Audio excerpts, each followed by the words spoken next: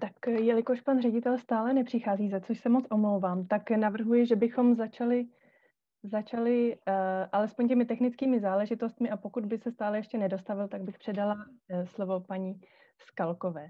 Tak, uh, pro začátek tedy technikálie. Dobrý den, moje jméno je Tereza Zvolská, působím na odboru rovnosti žen a mužů a společně s paní Janou Skalkovou budeme dnes moderovat tento workshop. Zároveň vás poprosím, kromě vystupujících, abyste si vypli kamery a také mikrofony, jelikož zájem je opravdu veliký, tak aby uh, nám to servery utáhly. To je jedna věc. Druhá věc, jak jsem již psala, bude z tohoto workshopu pořizován záznam. Pokud byste nesouhlasili s tím, aby byl kdekoliv zveřejněn, dejte mi vědět a já bych vás případně odstranila z tohoto záznamu. Pokud budete mít otázky, můžete je psát do chatu a v případě e, v těch slotech, časových slotech, e, které jsou určené k diskuzi, tak e, samozřejmě bude možné se ptát a do diskuze se můžete přihlásit opět v chatu, anebo tím, že zvednete ručičku, asi už tohle to jsou staré známé postupy dnes již.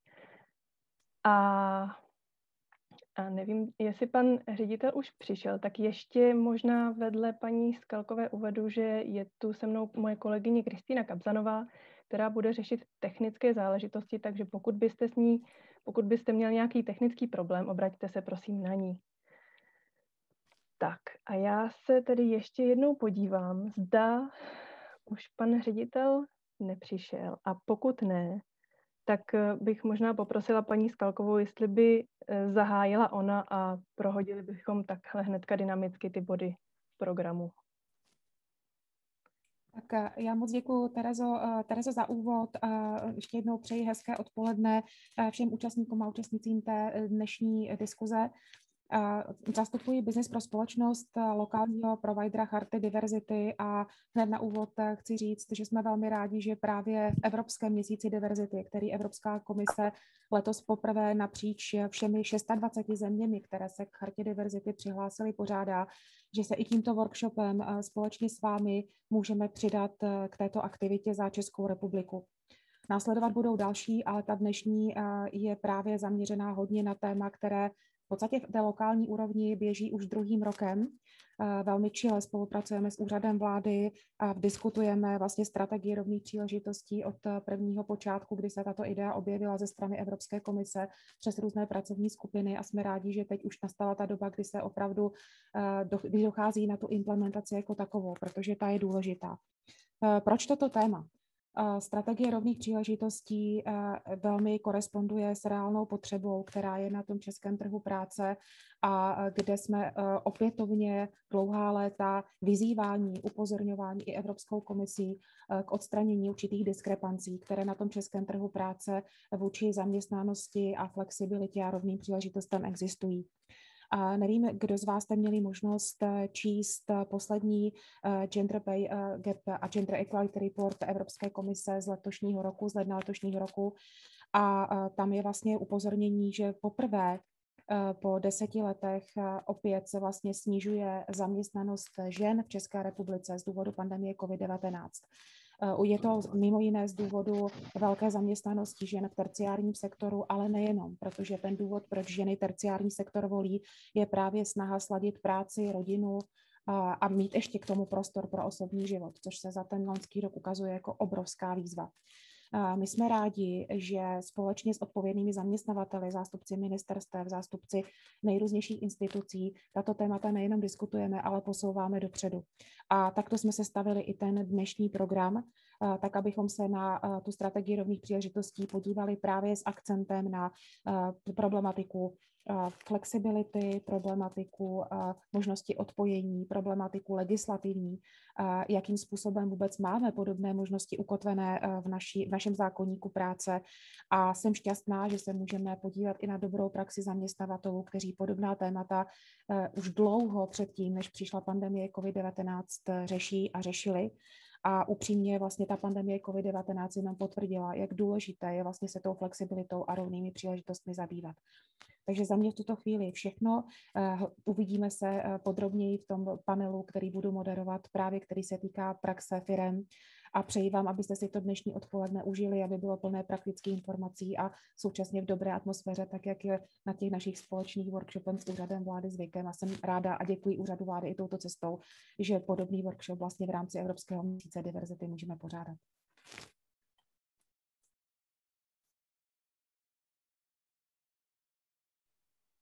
Já moc děkuji za úvodní slovo a vidím, že pan Bartoš se hlásí tak jenom chviličku a předám slovo panu Šafaříkovi, eh, který už zdá se je na místě. Moc děkuji za slovo.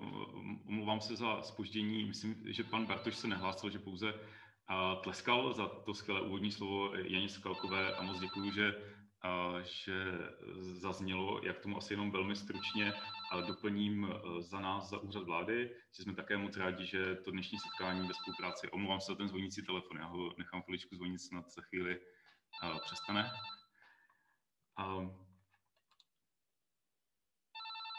Doufám.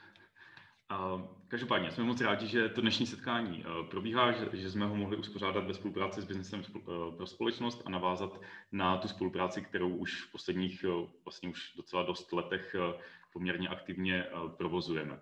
A tím dnešním tématem je teda otázka hm, home officeu, duševního zdraví a zejména práva na odpojení.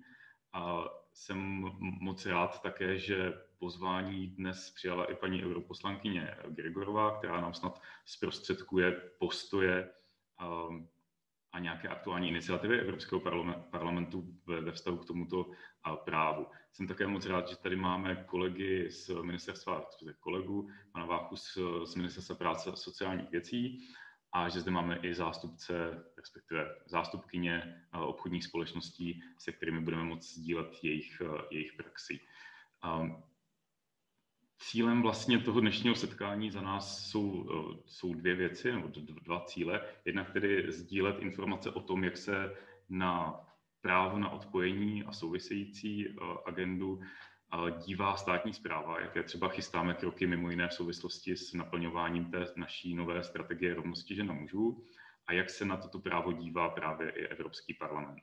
A tím druhým cílem potom je výměna zkušeností se soukromými společnostmi, které zcela jistě už v tomto ohledu jsou napřed před státní zprávou a ve vztahu k právu na odpojení, k, ve vztahu k třeba k péči o duševní zdraví svých zaměstnanců a zaměstnanky během, během pandemie, během home officeu, mají celou řadu iniciativ, které je určitě vhodné sdílet a nějakým způsobem o nich diskutovat. Celé to téma tedy za nás je rámováno tou naší strategií rovnosti žen a mužů s tím, že určitě celá řada dopadů pandemie v tom zaměstnaneckém životě eh, měla odlišný dopad ve vztahu k ženám a mužům. Existuje celá řada studií, která si právě všímá toho, jakým třeba překážkám ženy čelí v souvislosti s, s prací z home office a v souvislosti s třeba péčí o děti během uzavření školek a škol. Zároveň existují studie, které dokládají dopady na duševní zdraví, kde také lze nějaké významnější genderové rozdíly identifikovat. Doufám tedy, že ta dnešní diskuze přispěje k tomu nejenom, že si vyměníme informace, ale také k tomu, že eh, nám vaše zkušenosti pomůžou nějakým způsobem eh, formovat ten postoj státu eh, v tom smyslu policy making, v tom smyslu, co je teda potřeba z pozice státu řešit, jaké podmínky nastavit a jak využít tu stávající dobrou praxi ze strany biznesu. Ještě jednou tedy děkuji moc, že jste všichni dorazili. Ten zájem nás určitě překvapil. Je skvělé, že se tady setkáváme v tak hojném počtu a doufám, že o to zajímavější bude potom i ta diskuze. Děkuji moc a předávám slovo zpátky Tereze. Díky moc na slovo, za slovo. A je mi velkou ctí, že můžu předat slovo paní europoslankyni Markétě Gregorové, pokud je přítomná. Děkuji, zdá se, že je přítomná. Předávám slovo. Díky. Dobře, tak děkuji takhle za slovo. A jsem moc ráda, že tady můžu být. Já jsem tady dneska od toho, abych vám velice ve stručnosti představila to usnesení Evropského parlamentu, které obsahuje doporučení komisi k právu odpojit se. Možná a většina z vás asi e, velice dobře ví, jak to funguje, ale e, cítím povinnost malinko upřesnit ty unijní, unijní nastavení a pravidla. To, že jsme teď, to, že jsme teď e, přijali usnesení Evropského parlamentu, neznamená, že se na té legislativě nebo na tom nařízení ještě začíná pracovat. Je to výzva té Evropské komisi, jaký návrh by měla předložit a jak si ho představujeme my jako Evropský parlament. Finální forma ale může vypadat výrazně jinak a zároveň to neznamená, že se toho komise ujme. Interně ale můžu říct, že se toho velice pravděpodobně komise ujme, už, už se o tom začíná mluvit a vlastně na tom i částečně pracovat, ale tu finální podobu nikdo nevíme, jak, jak může ve výsledku být. Nicméně to, co, to, co přijal Evropský parlament, tak uh, nejdřív řeknu, proč jsme to vůbec přijímali, ačkoliv tady uh, předřečnice tak už vlastně popsala, kde je problém s celkově tím aktuálním životním nastavením, které máme v pandemii. Ono sam, samozřejmě ta práce na dálku přináší uh, flexibilitu, ale taky risk pro uh, rovnováhu soukromého pracovního života a i pro zdraví případně. A riziko, že pracovníci, zaměstnanci budou prostě pracovat déle, uh, protože budou nuceni pracovat i mimo pracovní dobu. A že se hlavně rozostří ty hranice mezi pracovní dobou a volným časem.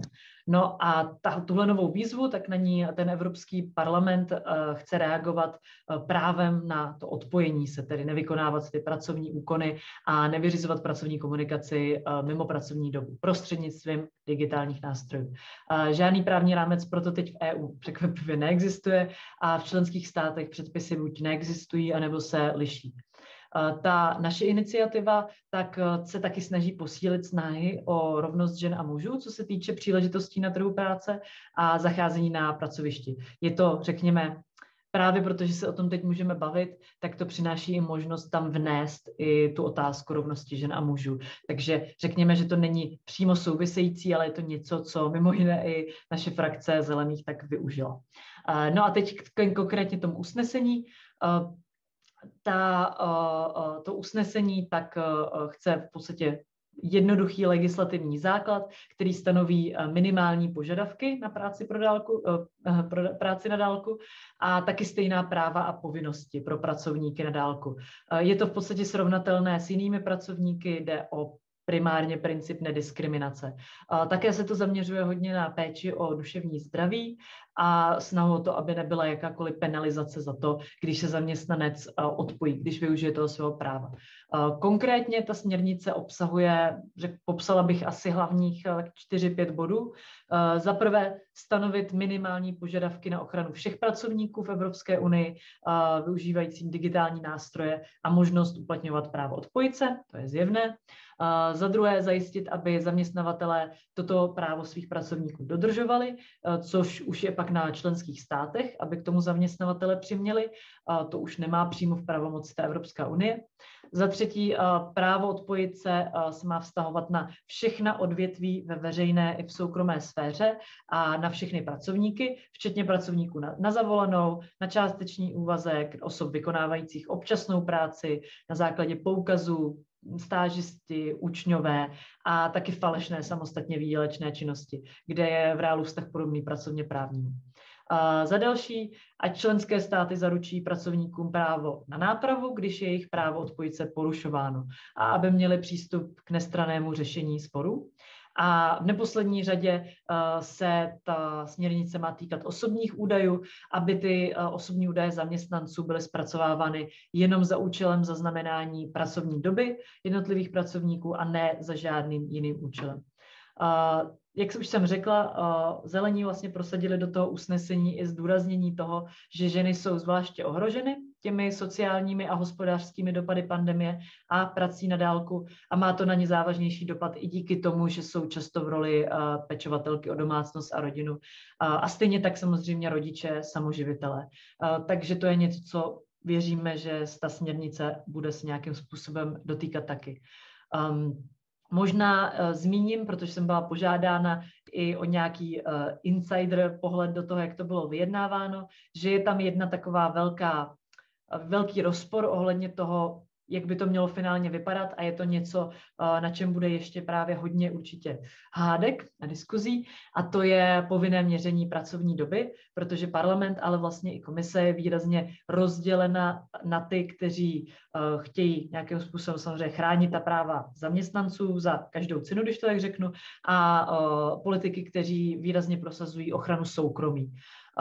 Takže je to něco, kde nemůžu ještě říct, jak to pravděpodobně dopadne, je to opravdu docela půl na půl ale uh, je to určitě něco, co pokud máte vy, uh, ať už jako zaměstnavatele nebo i odbory pak nějakou preferenci, uh, tak je to něco, v čem se můžete teď začít už třeba vyjadřovat, lobovat, adekvátně reagovat, jestli byste byli pro to povinné měření pracovní doby ne, nebo ne. Je to samozřejmě, ta debata je, je naprosto jako jasná, buď je to cílem chránit zaměstnance, anebo posilovat spíš ten vztah založený na důvěře, že není potřeba si měřit hodiny a dělat to víc flexibilně a chránit spíš to soukromí, protože ta data k té ochraně zaměstnanců můžou být pak teoreticky zneužitelná eh, k nějaké i jejich šikaně. Tak to je asi za mě vše. Případně se pokusím odpovědět, pokud by byly nějaké otázky. Tak eh, předám slovo dalšímu řečníkovi a ještě jednou, ještě jednou moc, eh, moc poděkuji za vystoupení, bylo to moc zajímavé. A předám slovo panu vedoucímu Váchovi eh, z MPSV, z vedoucího oddělení eh, kolektivního vyjednávání. Pane Vácho, můžete. Dobrý den, já moc krát děkuji za pozvání, za slovo. Vítám tady převážně a koukám do seznamu participantů ženské osazenstvo, ale to vůbec nevadí. Já bych si s dovolením dovolil sdílet prezentaci, kterou jsem si pro vás připravil. A týká se tedy nečekaně práva odpojit se očima vnitrostátních expertů na legislativu. Nejsem si úplně jistý, jestli, jestli vidíte prezentaci. Uh, pokud tomu tak je, výborně. Pokud tomu tak je, tak si dovolím začít. Uh, mé jméno je tedy eh, magistrian Vácha, jsem vedoucím oddělení kolektivního vyjednávání a Dlouhodobě se zabývám otázkami uh, pracovní doby, doby odpočinku. Jsem vlastně takovým tím strážcem společně s mými kolegy na oddělení, uh, mimo jiné i směrnice o pracovní době. A co se týče práva odpojit tak uh, jsem si tu prezentaci rozdělil do čtyři, na čtyři části, plus prostě prostor pro vaše otázky. A nejdříve bych se chtěl věnovat oblasti práva odpojit versus home office. My vlastně, eh, co se týče těch odborných diskuzí, tak eh, jsme svědky takové neblahé praxe, že, že vlastně eh, ta problematika práva odpojit se hodně směšuje s, problematikou home office a mnozí si myslí, že, že vlastně tyhle ty pojmy popisují stejnou věc a že je lze využívat promiskuje, anebo se domnívají, že to právo odpojit se souvisí jenom s výkonem práce eh, tak, takzvaně na dálku na, na tom home office. Tak eh, to vůbec není pravda. Jednak je nutné vidět to, že to právo odpojit se by se mělo řešit v souvislosti jak s home office, tedy s prací na dálku, tak i se standardními zaměstnáními. Ono se dá říci, že spíše souvisí s IT technologiemi obecně, a s jejich využíváním, než s pouhým výkonem práce z domova. Eh, to si myslím, že je potřebné si uvědomit. Eh, eh, proto se domníváme, že to právo odpojit se je nutnou pod oblastí, která se musí vyřešit v kontextu komplexního legislativního řešení nejen práce z domova, ale i těch, i těch standardních pracovních poměrů, nebo chcete-li pracovně právních vztahů po, po Evropsku. Eh, dále jsem považoval za vhodné upozornit na to, že eh, to právo odpojit se, to sem nepřišlo s, s koronavirovou pandemí. Eh, ty diskuze o něm jsou tady dávno před koronavirovou pandemí a nesouvisí s tím výrazně zvýšeným procentem výkonu práce zaměstnanců z domova, která, které přirozeně ta koronavirová pandemie přinesla. Dalo by se říci, že bez sporu to zvýšené procento výkonu práce z domova urychlilo ty diskuze, teď, teď nechci mluvit uh, za, za skupiny uh, Evropské unie, možná paní europoslankyně by nám k tomu uh, mohla dále něco říct, ale uh, my si myslíme, že, že bez sporu ta koronavirová pandemie tyto diskuze urychlila. Uh, co se týče uh, další pasáže, tak tam jsem si připravil poměrně hutnou prezentaci, co navrhuje Evropská uh, unie, víceméně Evropská komise. Množství z těch věcí již uh, řekla nebo nastínila uh, moje předřečnice paní europoslankyně. Tak já bych to s dovolením jenom rychle prolétl a možná bych se zaměřil na ty, na ty věci, kterým se paní europoslankyně blíže nevěnovala. Tak eh, co se týče tady toho prvního slajdu, který vidíte, tak, eh, tak si myslím, že, že vlastně v té, v té rezoluci Evropského parlamentu je mimo jiné řečeno, že eh, to stírání, zastření té jasné hranice mezi pracovní dobou a dobou odpočinku, ke které ty IT technologie bez zesporu přispívají, tak vedou u zaměstnanců četným negativním vlivům. Jo? Mám tady napsáno spánková deprivace, syndrom vyhoření, izolace, rakovina, redukce soustředění, muskuloskeletální nemoci, emoční vyčerpání, úzkost a deprese. Co se týče posouzení eh, jakoby českého zákonodárce a těch českých luhů a hájů, tak, eh, tak eh, tento aspekt bych si dovolil vysoce zdůraznit, protože si myslím, že v tom kontextu odborných diskuzí nad právem odpojit se Tohle to je právě od oblast, které se moc nevěnuje pozornosti. A myslím si, že to je jedna z hlavních oblastí, které by se, které by se pozornost měla věnovat. A, a měly, by se, měly by se tedy zavést určité studie a, a podpořit snahy vlastně věnovat se těm, těmto, těmto negativním vlivům, které, které sebou ty IT technologie i v kontextu toho práva odpojit se přináší. Eh, co se týče statistik, tak tady v té poslední odrážce eh, vidíte, já jsem tedy čerpal z jiných statistik než, než eh, moje předřečnice paní Tereza Zvolská, jsou to statistiky Eurofondu. Ty tedy uvádějí, že home office v kontextu koronavirové pandemie vzrostl z 10 na 45% v České republice. Jo, tak, tak možná to je, to je chyba i těch, i těch statistik, eh, že, že vlastně se možná vychází z jiných, z jiných zdrojů a, a každá, a každá vlastně organizace eh, může mít poměrně, poměrně odlišné, od, odlišné potom, potom eh, výstupy.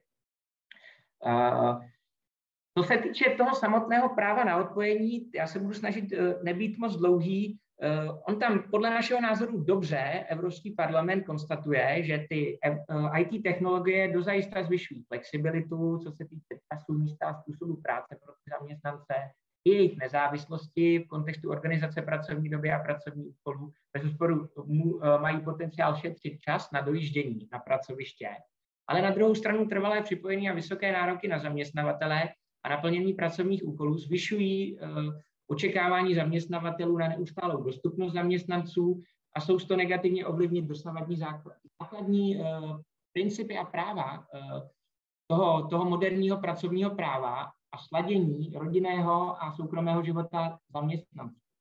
Tady pokud uh, bych si mohl uh, dovolit navázat na paní uh, europoslankyni, my si myslíme, že ten hlavní kámen úrazu je právě v tom, že jsou takové tendence, eh, domnívali jsme se teda ještě předtím, než vystoupila paní europoslankyně, že z té rezoluce eh, Evropského parlamentu jasně vyplývá, že se, že se tedy budou ctít eh, ty minimální standardy, které jsou uvedené ve směrnici o pracovní době, to znamená minimální odpočinek, nehledě na to, jestli vykonáváte práci z domova, na dálku, jestli máte, máte k dispozici IT technologii ne, nebo ne, tak, takže se, že se jednoduše budou stít. Teď si tím nejsem úplně tak jistý, tak, tak, jsem, tak jsem trochu zmaten tím, co, tím, co vlastně paní europoslankyně řekla v rámci, v rámci té její prezentace. Protože my si myslíme, že, že ta rezoluce jasně říká, že i v rámci těchto moderních uh, pracovně právních vztahů se nesmí rezignovat na tu evidenci pracovní doby a to právě s ohledem na to, že judikatura uh, ke směrnici o pracovní době poměrně jasně říká, že jsou tam nějaké minimální standardy, které nejenom, že jsou v té směrnici napsány, ale přirozeně se musí nějakým způsobem také evidovat, aby ty kontrolní orgány potom měly možnost ověřit, jestli jsou dodržovány nebo ne. Je to, je to tak, takzvaný rozsudek CC, CCOO. Číslo vám teď, teďka neřeknu, protože reaguju, reag, dovolím si reagovat vyloženě na, tu, na, tu, na to sdělení paní europoslankyně. A druhá věc, která nás trošku maté v té rezoluci, kterou pokud bych si mohl dovolit hodnotit výstupy Evropského parlamentu, tak nám přijde v kontextu těch obecných výstupů Evropského parlamentu jako povedenější. Nicméně má tam podle našeho názoru veliký rozpor v tom směru, že z ní není patrné, a dá se to dovodit jenom mezi řádky, co vlastně ten Evropský parlament chce.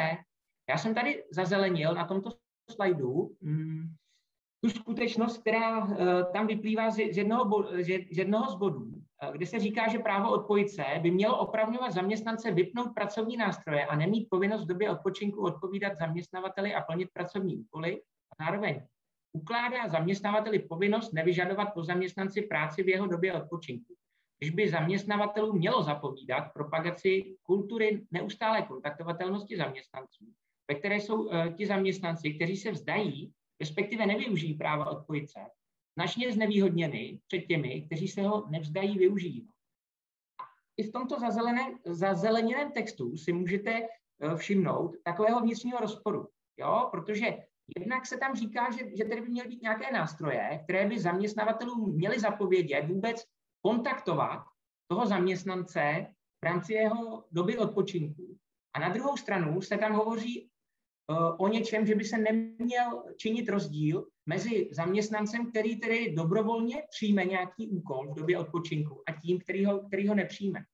Takže uh, my si tady dáváme uh, otázku, jak to vůbec Evropský parlament myslel. K tomu se dostanu potom v té další pasáži, čtvrté. Ale v podstatě gro toho, co vám chci sdělit, takhle ve stručnosti v těch deseti minutách, je to, jestli Evropský parlament cílí tedy skutečně na právo odpojit se, kdy my jako z teoretického právního hlediska právo uh, vykládáme tak, že je to možnost ho využít, ale také možnost ho nevyužít. A nebo jestli skutečně cílí na povinnost především zaměstnavatelů uh, po ukončení pracovní doby zaměstnance mu znemožnit svým způsobem být připojen, dejme tomu k firemnímu mailu, odpovídat eh, na eh, firmní maily nebo na pracovní úkoly a zároveň tomu zaměstnavateli diktovat to, že vlastně nemá možnost eh, v rámci doby odpočinku zaměstnance toho zaměstnance jakýmikoliv pracovními úkoly obtěžovat. Co je podstatné, a to si myslím, že zde paní europoslankyně velice dobře nastínila, je skutečnost, že je třeba si říci, že Evropský parlament nemá zákonodárnou iniciativu v rámci Evropské unie. Eh, to je mnohdy eh, věc, kterou si lidé neuvědomují, lajci, protože si vždycky řeknou, ano, v Čechách skupina poslanců má zákonodárnou iniciativu. V těch evropských strukturách to funguje trochu jinak.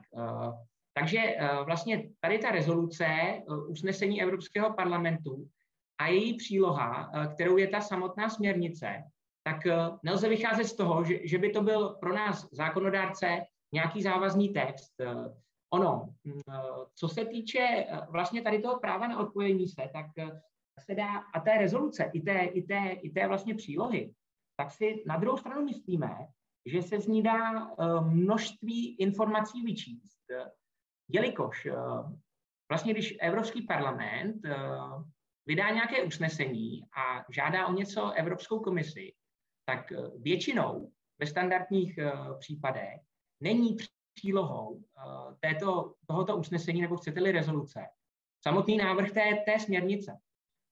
Co to, co to podle našeho názoru značí?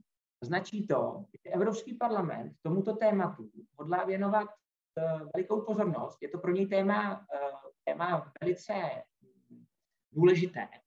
A snaží se vlastně Evropskou komisi nějakým způsobem držet v nějakých mantinelech. Ono zase souhlasím s paní europoslankyní, že, že vlastně konečnou finální podobu tomu návrhu dá, dá vlastně až Evropská komise. Jenomže co se týče toho evropského uh, procesu přijímání zákonů, tak uh, ti, kteří uh, tomu procesu rozumí, tak ví, že, že vlastně po té, co Evropská komise uh, vydá nějaký, uh, nějaký návrh směrnice, tak uh, poté existují tak, takzvané trialogy, uh, do kterých je zapojen, zapojena uh, ne, nejen Evropský parlament, ale také Rada.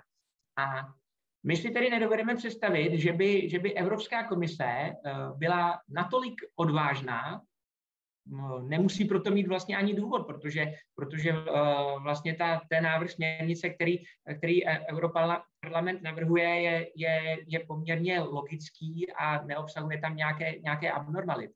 Jo, tak my si myslíme, že Evropská komise moc těch mantinelů, které jim, které jim vlastně nastavil Evropský parlament v rámci té přílohy toho usnesení, moc se z nich uh, odchylovat nebude. Nicméně znovu zdůrazňuji, uh, konkrétní návrh, na který čekáme my jako dělníci práva v rámci, v rámci vnitrostátní legislativy, uh, tudíž te, ten návrh komise ještě není na stole a to je třeba si při těch našich diskuzích uvědomit. Ty hlavní cíle, to bych s dovolením přeskočil, o těch, o těch už mluvila paní europoslankyně. Eh, co se týče toho zeleného, to bych si dovolil zdůraznit. Eh, už jsem o tom mluvil na začátku, i paní europoslankyně to, to zmínila. Je třeba si říct, že to právo nebo povinnost, to, to, se, to se ještě doufám, že se rozjede diskuze tady na to téma, bude týkat všech, všech zaměstnanců. Takže se tady nebavíme jenom o těch eh, zaměstnanců pracujících na dálku, využí, využívající IT technologie a těch, kteří jsou mimo pracoviště zaměstnavatele. Eh, tady bych si dovolil eh, chvilku se věnovat eh, přímo té, té směrnici. Tady si myslím, že je důležité si říct, že ona zejména navrhuje opatření implementující právo odpojce, které, které, která by měla spočívat v těchto bodech. A praktická opatření zajišťující vypnutí IT pracovních pomůcek. Za, za B, a to je právě ten náš rozpor úhlu pohledu s tím, co tady nastínila paní europoslankyně, Nutnost vytvoření spolehlivého systému evidence pracovní doby. Za C. Vytvoření analýzy dopadů nerealizace práva odpojit se na bezpečnost a zdraví při práci. To je ta oblast, eh, na kterou se vás upozorňoval, že je, nám přijde, že je zejména v rámci České republiky velice podceňována. A za, za D. Kritéria pro možnost zrušení nutnosti respektovat právo zaměstnance na odpojení se a kritéria pro kompenzaci práce vykonané mimo pracovní dobu zaměstnance toho D mimo jiné nám plyne to, že zřejmě ten Evropský parlament eh, chce respektovat ty minimální standardy, které jsou obsaženy ve směrnici o, o pracovní době. Uh, Toto s dovolením přeskočím, o tom už mluvila paní europoslankyně, to se týká těch práv na ochranu před uh, nepříznivým zacházením a td. a nastavení relevantních sankcí. Dostávám se konečně uh, k další podoblasti, právní úprava v České republice. Co se týče té právní úpravy v zákonníku práce, tak si myslím, že je nutné zdůraznit to, že eh, vlastně eh, v Čechách eh, pod vlivem judikatury Soudního dvora Evropské unie a vlastně toho dělení konkrétního času existují jenom v podstatě dvě kategorie času. Máte tady buď pracovní dobu, anebo dobu odpočinku.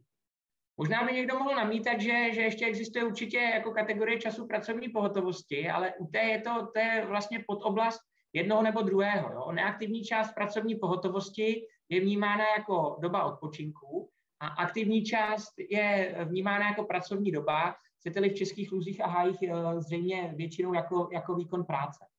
A my vycházíme z té premisy, že v době odpočinku je zaměstnanec oprávněn nereagovat na zaměstnavatele, nebrat mu služební telefon, neodpovídat mu na pracovní maily, kterým, eh, kterými prostřednictvím který vlastně zaměstnavatel by mohl mít tendenci v době odpočinku zaměstnanci ukládat pracovní úkoly. Zaměstnavatel by ho ani v době odpočinku správně neměl kontaktovat. Pokud chce zaměstnavatel zaměstnance mimo jeho pracovní dobu v době jeho odpočinku kontaktovat, jak už jsem nastínil, musí s ním sjednat pracovní pohotovost.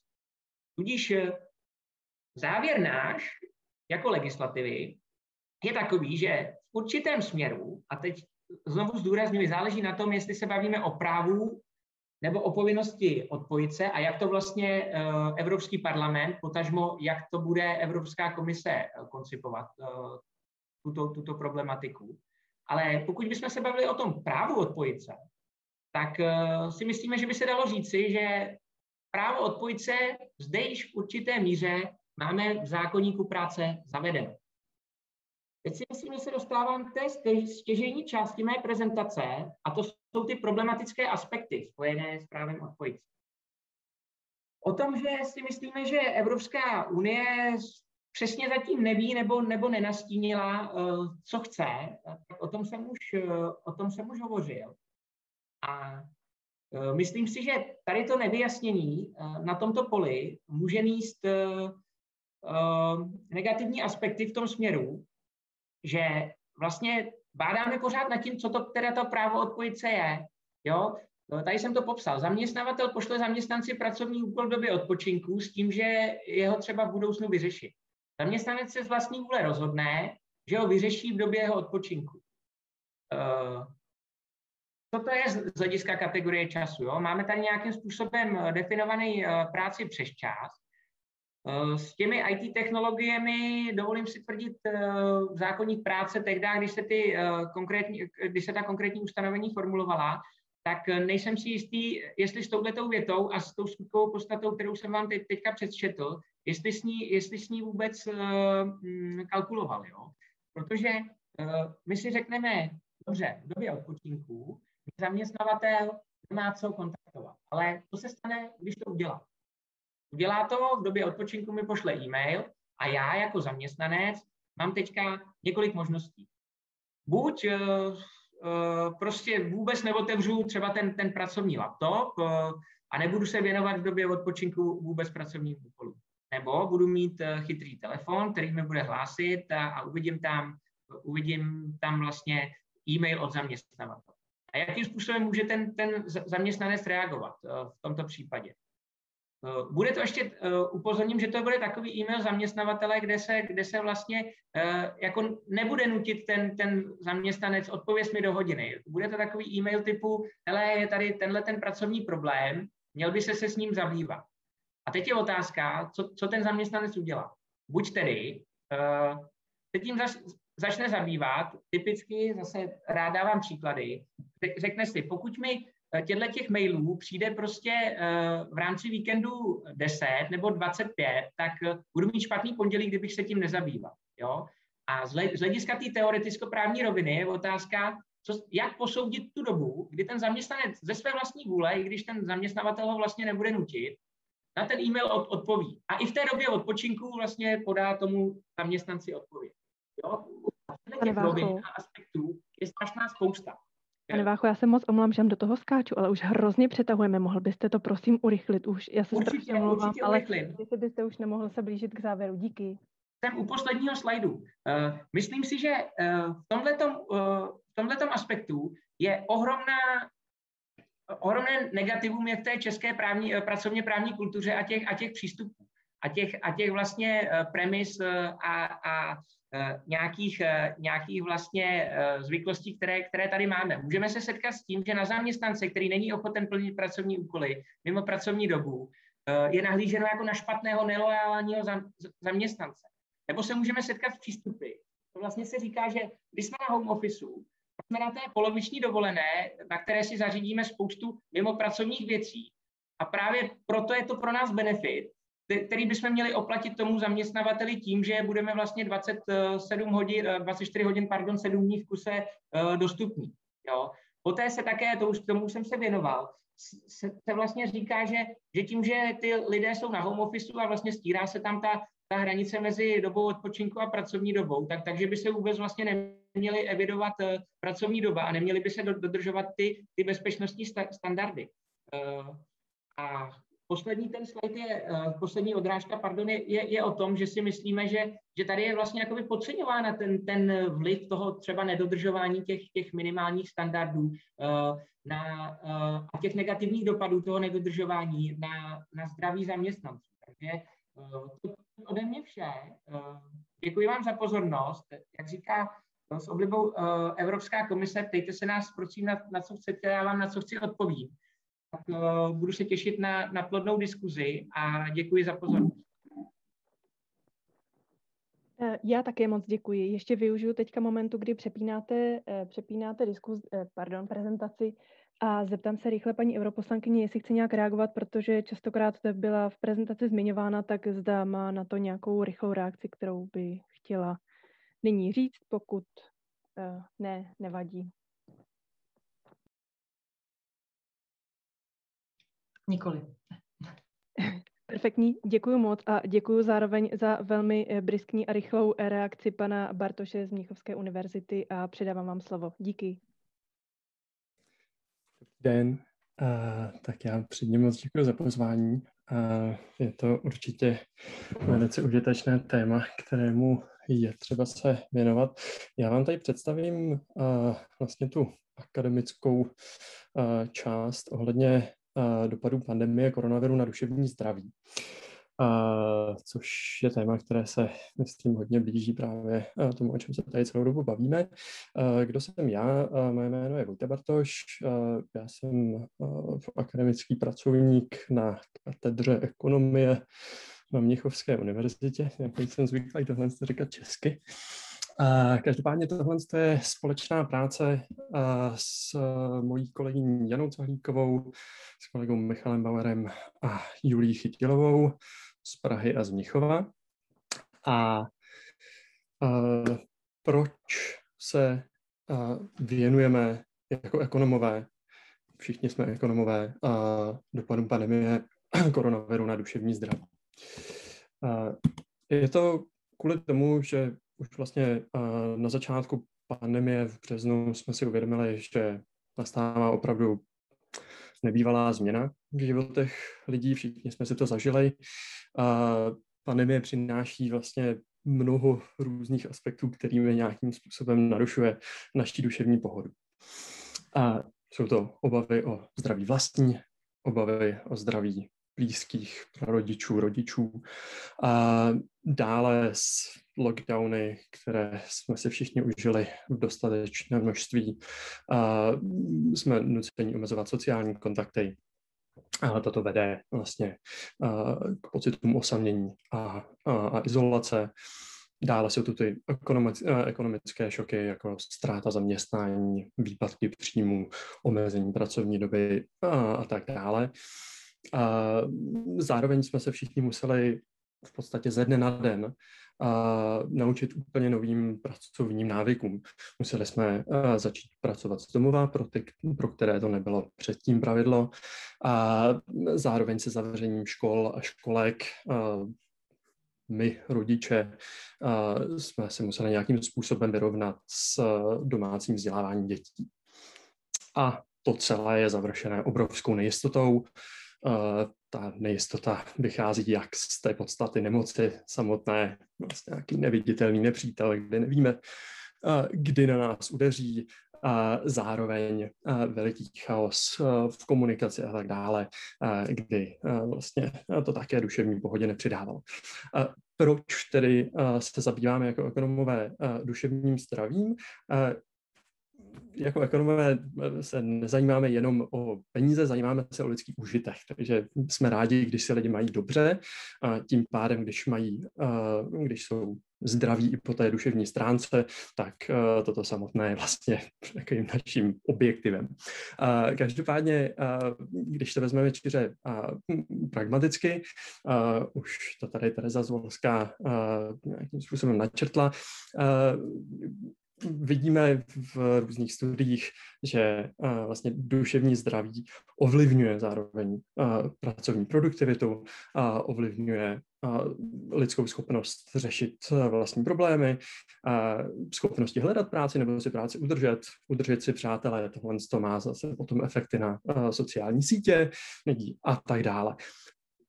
A nemůžeme zapomenout také na velmi silný link mezi duševním zdravím a zdravím fyzickým, takže vlastně se zhoršením duševního zdraví vidíme vlastně i vyšší nápor na samotný zdravotní systém. Tak, K samotné studii. Vlastně už od března minulého roku sledujeme ve spolupráci s iniciativou PAC Research Daniela Prokopa, která můžete znát z médií, velmi často vystupuje, dále, dále vědců okolo CERGEI a, a think tanku IDEA Anticovid sbíráme longitudinální data, ve kterých se vlastně každé dva až tři týdny ptáme reprezentativního vzorku dospělé populace české na baterii otázek, nejen na duševní zdraví, ale i na mnoho dalších oblastí, těm se nebudu dneska věnovat. Dnes se tedy zaměřím čistě na to duševní zdraví. Každý, v každém tom kole, kterých máme zatím 28, získáváme odpovědi od někde mezi dvou, dvou tisíc a dvou a půl tisíc respondentů. Tak, jakým způsobem měříme symptomy deprese, to jenom byste si udělali obrázek. Toto není nějaká naše baterie otázek, vlastně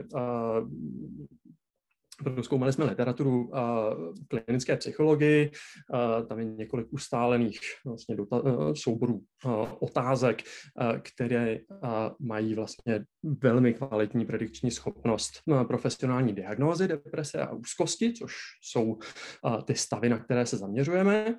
My jsme si z, to, z těchto baterií vybrali šest otázek, aby to nebylo tak dlouhé, a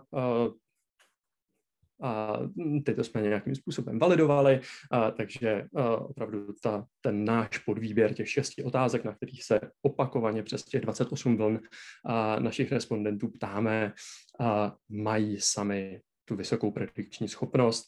A, a ty a, ten ukazatel, který vám uh, budu, uh, budu prezentovat v, uh, v grafech, které začíná vlastně od dalšího slajdu, už se vrhnu na výsledky konečně, tak tam vám budu prezentovat takzvané příznaky minimálně středně těžké deprese či úzkosti. Toto je uh, nějaké skóre, které jsme si určili, které opravdu odpovídá té diagnoze střední uh, deprese a úzkosti vycházející z klinického výzkumu v psychologii.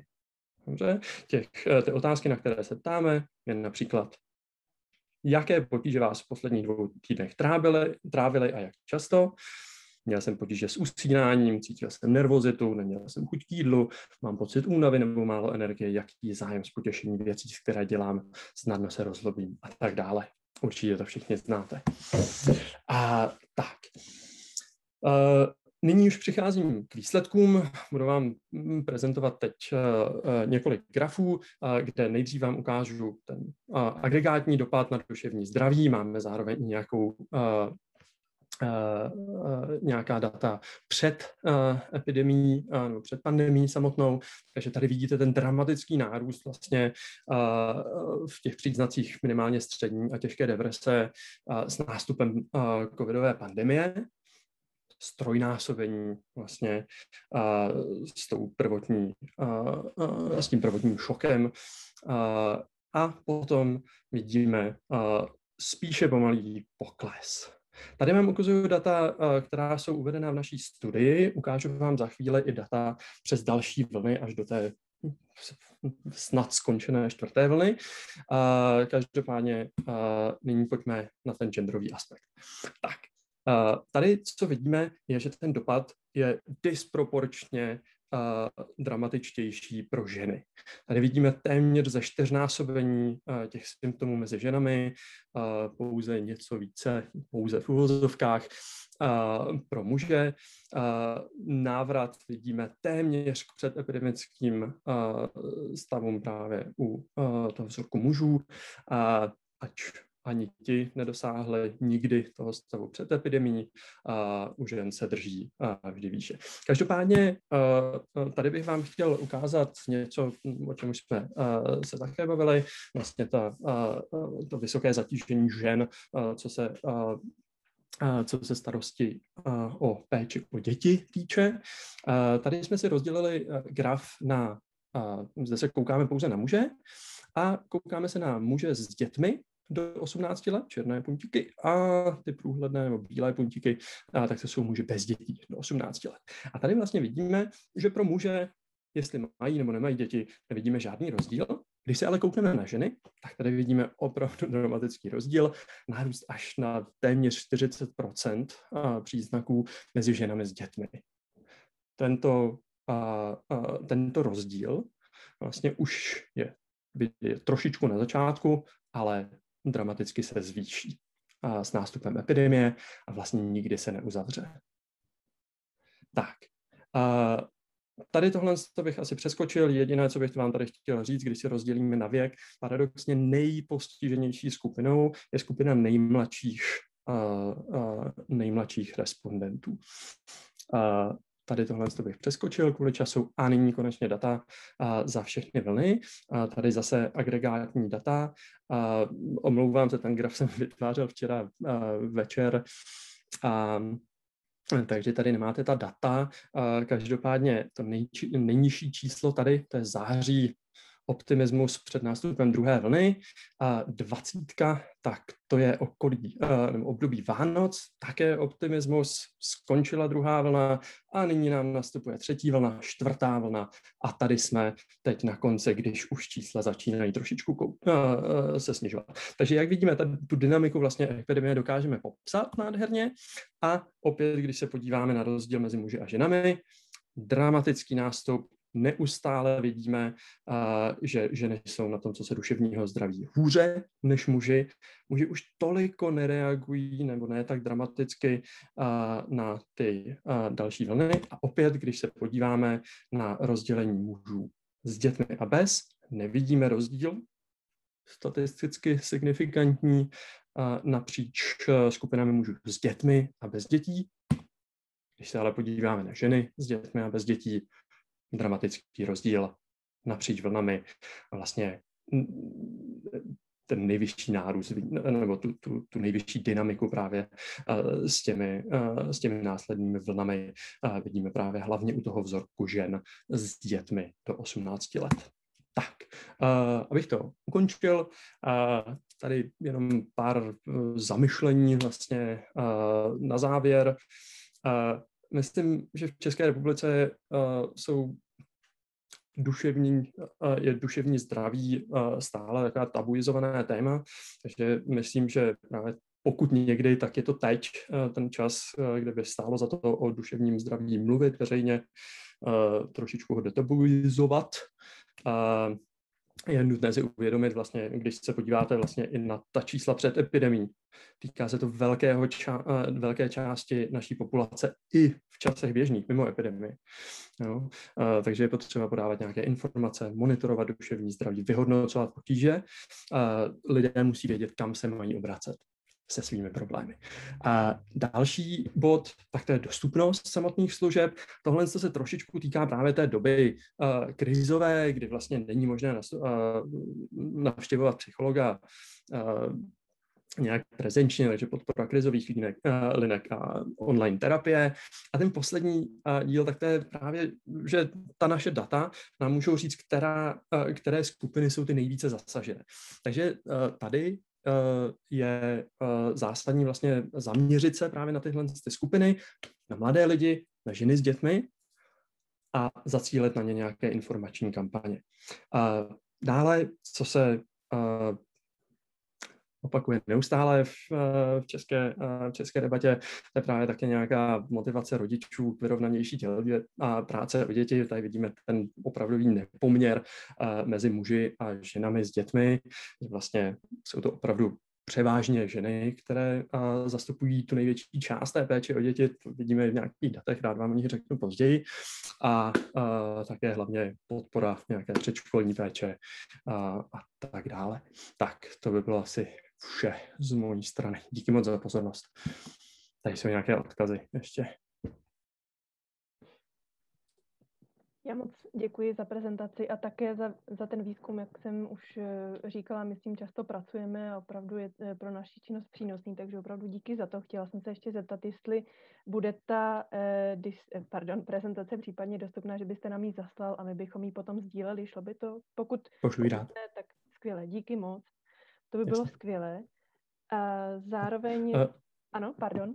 Jo, jenom jestli, jestli můžu udělat takovou trošičku reklamu, tak tady právě ten web Život během pandemie, tak tam je vlastně aktualizovaný dashboard, na kterém můžete všichni se podívat vlastně mimo jiné právě na naše data uh, ohledně duševního zdraví, ale taky mnoho dalších indikátorů vlastně najdete tam uh, napříč uh, těmi vlnami.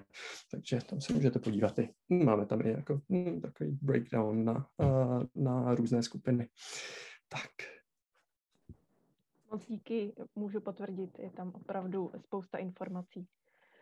A já se ještě jednou moc omlouvám za ten sklus, který jsme nabrali a z tohoto důvodu uh, bohužel uh, budeme muset přeskočit tu debatu, která byla v tenhle ten moment plánovaná. Já už to raději nebudu zdržovat a předám slovo Janě Skalkové, která teďka bude řešit ten, eh, ten blok následující a zároveň bych chtěla říct, že to můžeme chápat celé tak, že dnešní debata je jednou z prvních a navážeme na ní. Takže Každopádně děkuji všem, eh, kteří aktuálně vystoupili. Bylo to moc zajímavé. Díky. Já moc děkuji všem předřečníkům za úvod k té části praktické, která nás, která nás teď čeká. I navážu na to, co teďka říkala Tereza, protože bereme, že eh, v rámci Charty diverzity podobná témata eh, kontinuálně řešíme, otevíráme a rádi je budeme diskutovat dál. Já jsem pečlivě poslouchala zejména tu poslední prezentaci a při sledování těch grafů mě napadlo, že jsem vlastně velmi ráda, že zrovna v chartě združujeme celou řadu zaměstnavatelů, kteří nejenom flexibilitu práce a některé její formy typu home office řešili daleko dřív než pandemie, ale také řešili řešili spoustu věcí, které se týkají ladění toho pracovního osobního života a zrovna tak téma duševní hygieny. A mám velkou radost, že ty firmy, které jsme oslovili a se kterými teď v tom následujícím bloku budu diskutovat a budu je vtahovat do sdílení té jejich zkušenosti a příkladu dobré praxe, že jsou napříč segmenty, že jsou napříč Českou republikou a uh, tudíž mohou být dobrou inspirací pro ostatní zaměstnavatele a pro hledání té cesty, jak podobná témata na té firemní praxi podpořit. Jako první bych teď chtěla pozvat uh, Šárku Vránovou, která je HR ředitelka společnosti Accenture. Uh, dobré odpoledne. Šárko, já jenom prozradím, že zrovna téma duševní hygieny a v tak technologické firmě, jako jste vy, je dlouhodobé a rozhodně máte jako i z hlediska těch vlastních zkušeností co říct, tak předávám slovo. Moc krát děkuji, Jano, a děkuji za pozvání. Já na úvod promítnu několik málo slajdů, abych aspoň udělala takový úvod, jaká jsme společnost a jakým způsobem právě adresujeme nebo akcentujeme téma duševního zdraví u nás, u nás ve firmě. A tak, já si myslím, že naběhne prezentace během malého momentu. Jestli Jano, pak prosím můžete říct, že je vidět. Ano, je vidět. Tak, perfektní. Uh, tak, uh, já se jmenuji Šárka Vránová, jsem HR ředitelka firmy Accenture. A um, jenom na uh, velmi, velmi krátce. Uh, my jsme globální společnost, v podstatě největší firma profesionálních služeb na světě. A s tím, že se věnujeme digi- digitalizaci, službám v oblasti cloudu a kybernetické bezpečnosti, jsme opravdu velký zaměstnavatel, zaměstnáváme co do počtu lidí přes půl milionu lidí na světě, nicméně já se budu bavit tady o České republice, sídlíme v Praze od roku 1991 a máme eh, víc než 2000 zaměstnanců tady v Praze. Tak toť aspoň eh, eh, jenom velmi, velmi v kostce, jaký druh zaměstnavatele jsme. A jsem velmi ráda, že právě dnešní téma akcentuje do velké míry duševní zdraví a péči o něj. A já bych ráda nastínila, jak program u nás ve firmě vypadá a jakým způsobem ho adresujeme. Eh, téma duševního zdraví ehm, ehm, nebo ehm, projekt pro eh, duševní zdraví ve firmě eh, máme tady v Praze od roku 2018, to znamená ještě velmi před pandemií. A jsem, jsem moc ráda, že tomu tak bylo, protože jsme mohli velmi hbitě navázat a ten program rozšiřovat. Tak pomáháme ve třech, abych řekla, takových třech pilířích v oblasti prevence, intervence a um, inkluze. s tím, že zároveň updateujeme benefity a procesy, které ve firmě máme a vnímání a vůbec chování nás všech ve firmě. A především bych tady ráda velmi krátce vypíchla tři pilíře, jakým způsobem se duševnímu zdraví věnujeme. A začnu asi tím prostředním a, a navážu i na tu diskuzi nebo příspěvek přede mnou. A našim zaměstnancům poskytujeme odbornou psychologickou pomoc, která je absolutně diskrétní, tím, že mohou kdokoliv z našich zaměstnanců může kontaktovat odbornou linku 247 350 360 pardon, pět dní v roce v angličtině i v češtině, protože máme řadu kolegů zahraničních.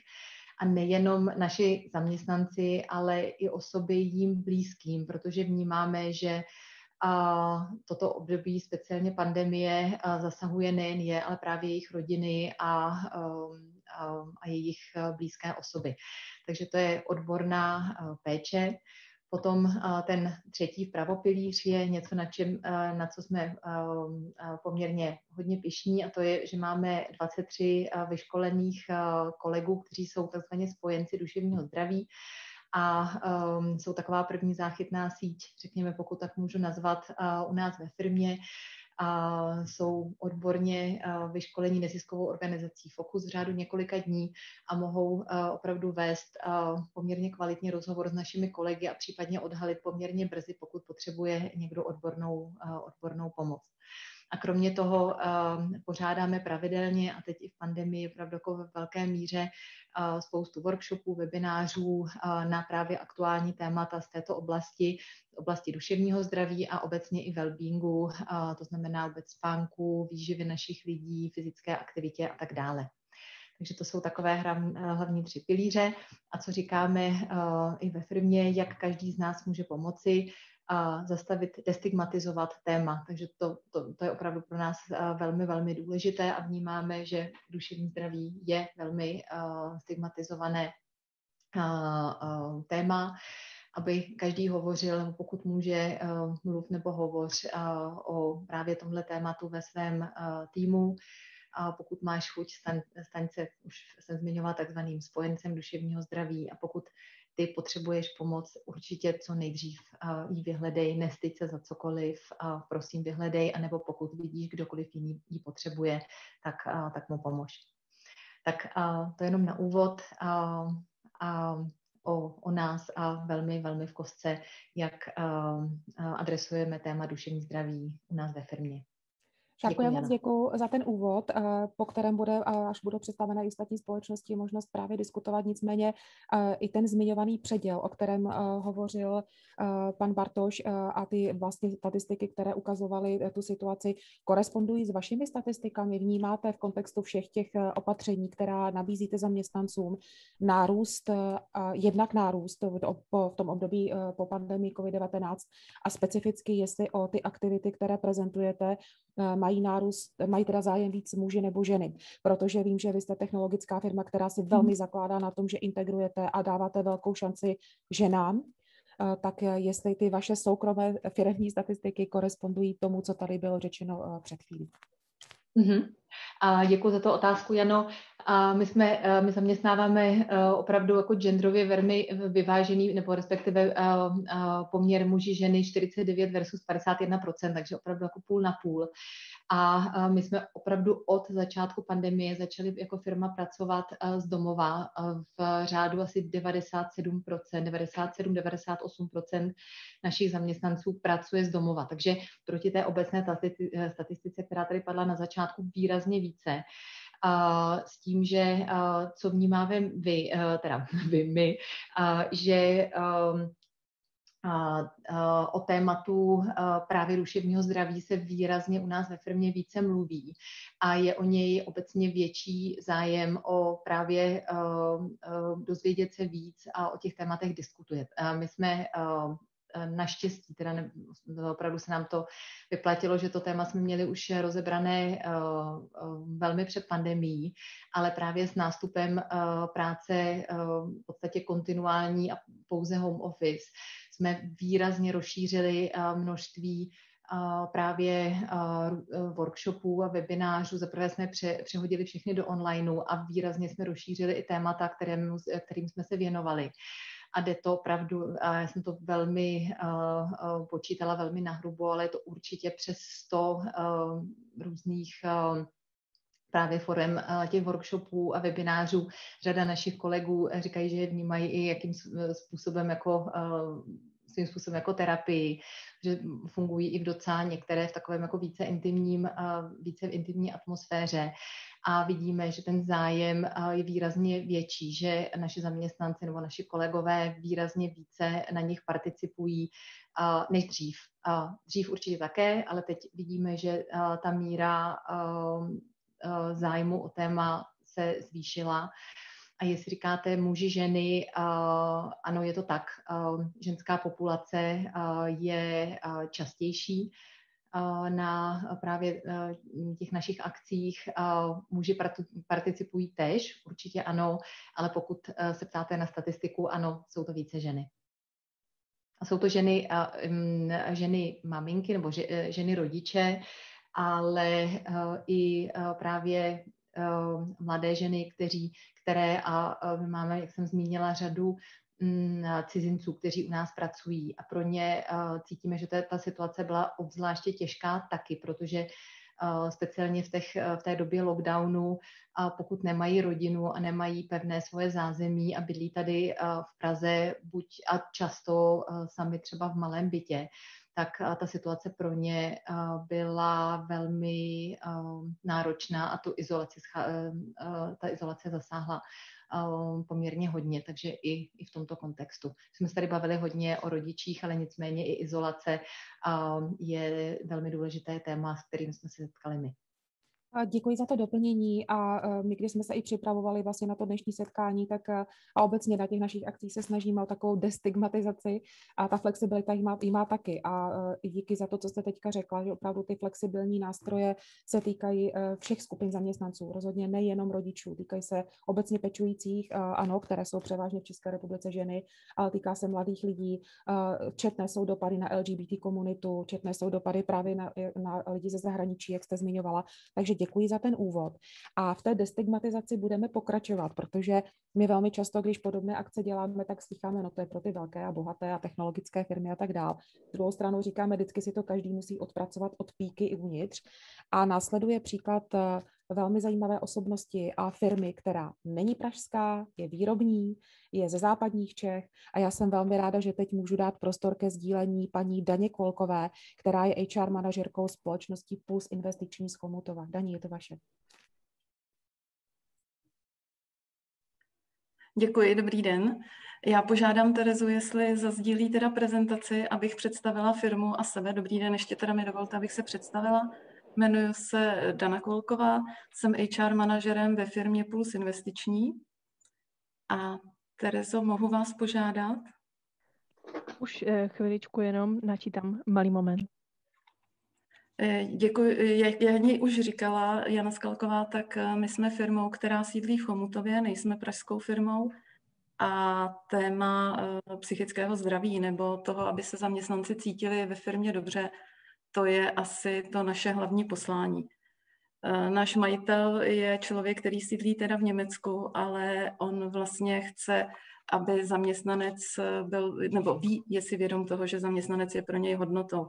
Svědčí o tom i třeba jenom eh, design budovy, kterou máme, protože to není jenom taková ta škatule, která má umožnit eh, vyrábět zisk, ale má to design, má to ducha a musím říct, že naši zaměstnanci se těší do práce. Jestli mohu požádat o další stránku, eh, my jsme elektrotechnická firma, vyrábíme pulzní napájecí zdroje a další, na další stránce uvidíte to, eh, kde jsou naše produkty využity.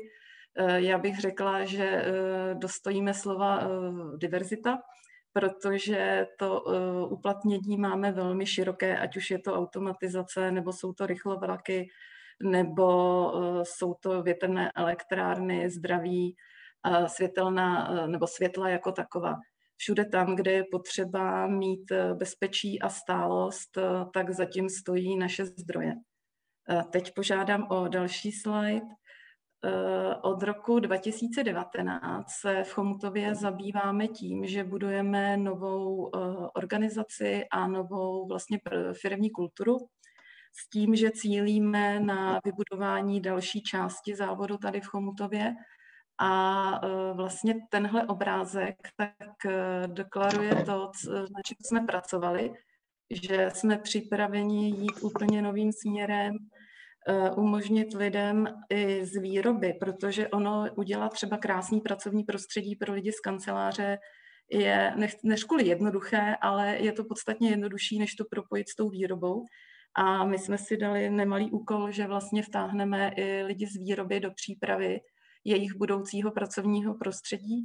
Zapojili jsme do toho eh, studenty z eh, Univerzity Forsheim v Německu a pracujeme na tomhle projektu s kolegy z Mnichova a učíme se, protože oni už eh, tímhle postem prošli. To je jenom, jak vlastně naše firma funguje. A jinak, eh, co se týče té tý pandemie, během toho posledního roku my jsme se neustále učili. Samozřejmě nám to zbrzdilo, tenhle projekt. Děkuji už za sdílení, díky, uh, Terezo. Uh, s tím, že tenhle projekt samozřejmě i během toho roku trošku no, byl jako na pozadí. On neusnul, zaplať pán Bůh, ale uh, my jsme během vlastně covidu se museli naučit zžívat s tou novou výzvou, která byla před náma my jsme jako jedna z mála firm tady na Chomutovsku měli neustále množství práce, velké množství práce. Do toho jsme se museli vyrovnat s tím, že eh, byly zavřené školy a spousta maminek a rodičů s dětma zůstávalo doma. A jak vlastně propojit to, že na jedné straně máte před sebou ten tlak na to vyrábět a uspokojit zákazníky, protože jsme se zapojovali také do toho, eh, že jsme byli spolu tvůrci eh, těch dýchacích přístrojů na začátku covidu, když vlastně ČVT eh, vyvinulo ten nový, eh, nový přístroj jako takový, tak my jsme tam dodávali určitou část a pro naše lidi to bylo obrovský nadšení. A na druhou stranu jsme měli teď obrovskou porci lidí, zhruba tak 25% na, doma na ošetřovačkách, protože vlastně se starali o své děti. A jak eh, tohle všechno propojit, to byl oříšek, ale myslím si, že teď s odstupem času můžeme říct, že se nám ho podařilo zvládnout a hrozně moc jsme se na tom naučili.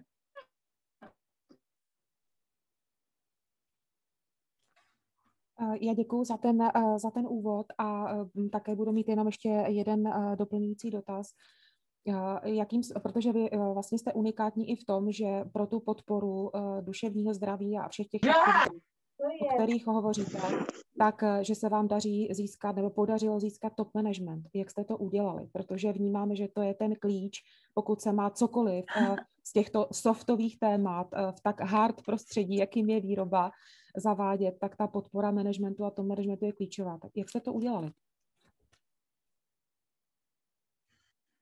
No, to je otázka. Já bych řekla, že přirozeně, že to šlo tak nějak samo sebou, že se to tak eh, vyvinulo tím životem firmy, protože postupně eh, vlastně jednotliví kolegové z těch eh, technických pozic, kteří jsou v managementu, prošli koučovací školou. A já nevím, jestli to byl ten hlavní moment, kdy si začali uvědomovat, že je potřeba dělat tu firmní práci trošku jinak a chovat se k zaměstnancům jiným způsobem. Ono to tak šlo přirozeně s výběrem lidí do těch manažerských pozic, protože oni jsou trošku jiní, mají jiné hodnoty nebo možná úplně normální hodnoty a ví, že eh, je tohle cesta, jak vlastně mít tu konkurenční výhodu. Ono o tom, je to o tom získat ty pravé zaměstnance a Eh, není to jenom o tom je přeplácet, ale poslední dobou se ukazuje, že zaměstnanci se chtějí cítit v práci dobře, úplně obyčejně dobře. A to je filozofie, kterou sdílíme křížem krážem vlastně firmou a je jedno, jestli je to na top management pozici nebo eh, přímo ve výrobě, jako třeba shift leader. Děkuji za to, za to doplnění. Určitě ještě bude prostor potom pro další dotazy. A já bych teď da, ráda dala slovo další hostce, která zastupuje společnost, trošičku navazuje na to, co říkala Šárka Vránová, a sice jak náročné bylo to poslední roční období pro lidi ze zahraničí, pro zahraniční zaměstnance Společnost, která následně dostane prostor a její zástupkyně je přesně ukázkou té společnosti, která zaměstnává celou řadu národností. A poprosím teď Dagmar Císařovskou, Císařovskou, což je communication manažerka společnosti ExxonMobil. Dagmar, je to vaše. Dobrý den, moc děkuji za slovo. Já nasdílím obrazovku.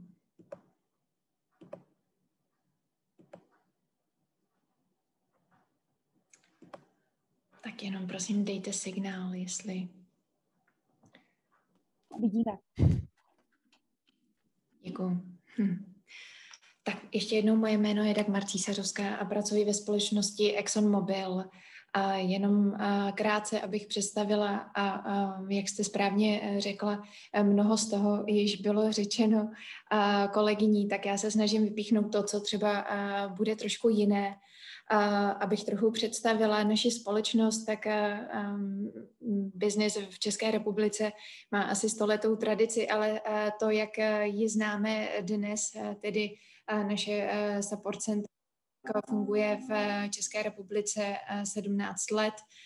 Ta demografie je eh, eh, hodně eh, multikulturní, zaměstnáváme přibližně 87 národností, genderově jsme přibližně vyvážení, věkový průměr kolem 37 let, takže a, je to velmi pestré, především tedy kolem poledne, když jsme si chodili do kuchyňky a, pro oběd, tak tam jste mohli zažít celou širokou paletu toho, co, co si kolegové ze všech koutů světa dávají.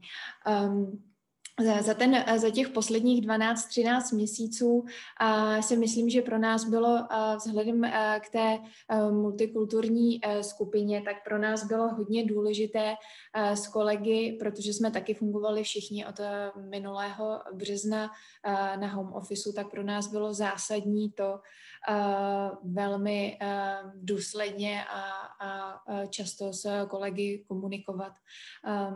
Tak, takže jsme Ehm, ať už přes maily, přes intranety, přes všechny možné help karty a teď vzhledem k tomu, kolik je tam cizinců, tak samozřejmě nerozuměli všem těm možným nařízením vlády a tak dále, protože nerozumí česky, tak pro nás byla opravdu velmi stěžení komunikace ze středu krizového štábu, který denně zasedal, tak to pro nás bylo moc důležité.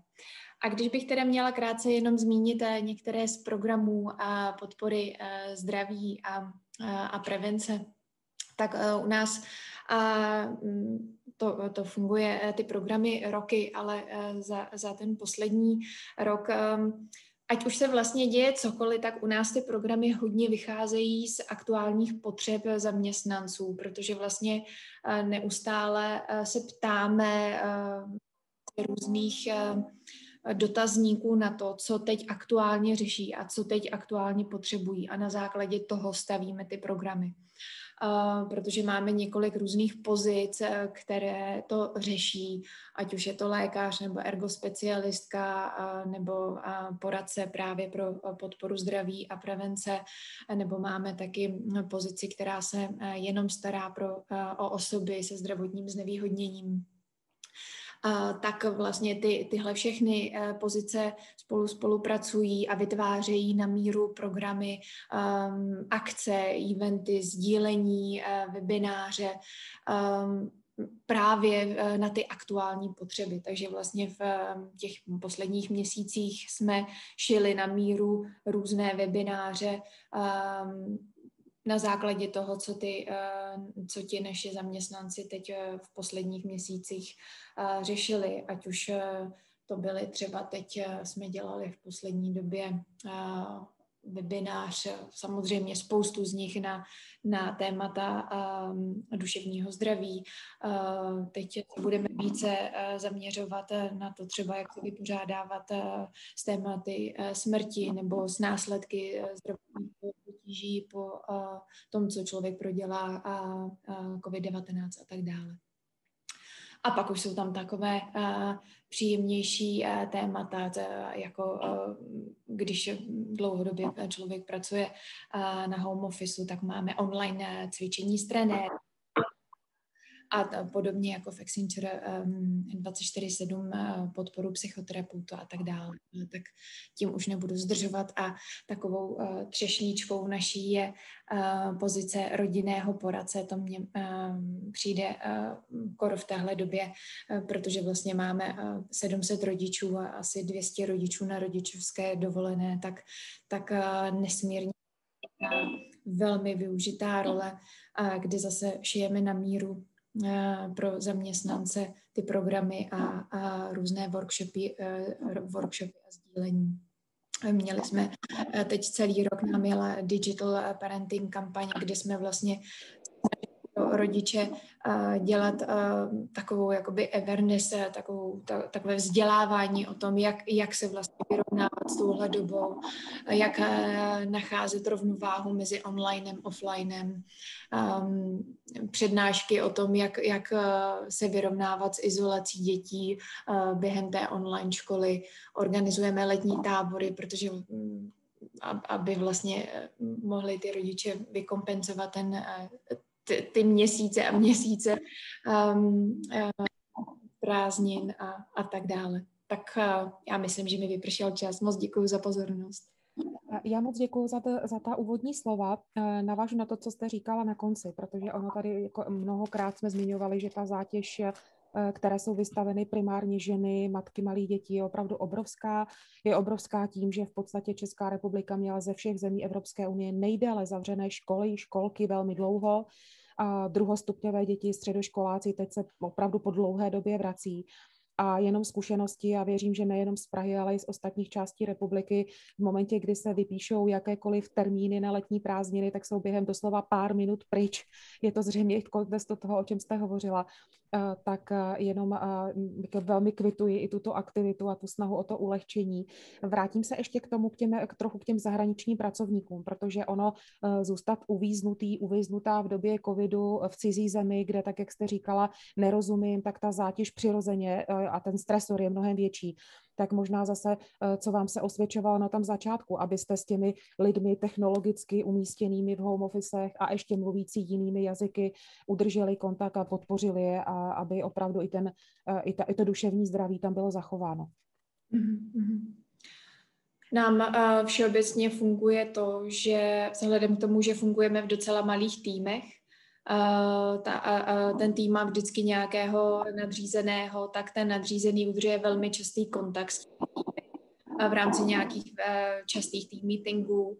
Eh, pak eh, mezi sebou ty lidi hodně často, nebo já můžu mluvit ze své zkušenosti, já velmi často udržuji telefonní kontakt s mými kolegy a i v rámci těch webinářů, proč vlastně ty webináře děláme na konkrétní témata, ta, ta moje hlavní myšlenka nebyla ani tak, že vlastně zavoláte nějakého um, nějakého uh, psychologa nebo nějakého teoretika na to, který vám říká, jak máte žít, ale také to, že, zavolá, že vlastně svoláte třeba 20-30 lidí, uh, kteří řeší to stejné téma. A vytvoříte si síť kolegů, kteří, uh, ať už třeba, řekněme, uh, prožívají zrovna uh, úmrtí v rodině, a vy vlastně máte v té uh, firmě najednou jakoby 20 30 um, eh, kontaktů, kteří v tu danou dobu eh, řeší to stejné téma a tudíž se můžete obrátit, eh, ne teď takzvaně zítra je nepotkáte v kuchynce, ale za normálních okolností vlastně si vytvoříte nějakou síť kontaktů, ke kterým se můžete obrátit. A to považuji za velmi důležité, mít tu, mít tu síť kolem sebe.